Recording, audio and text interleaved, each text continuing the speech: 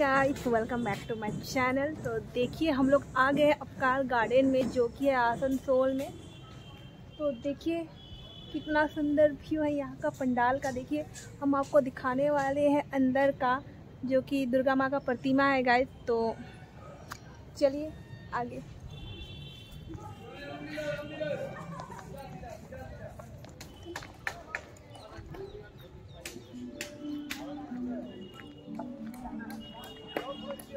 বন্ধুরা